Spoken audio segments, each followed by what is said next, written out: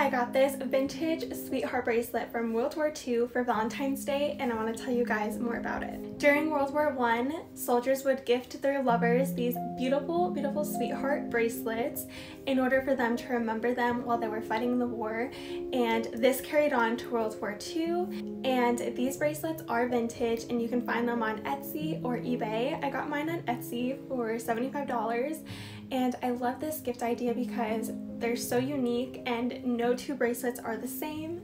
And yeah, I just thought I would share mine with you.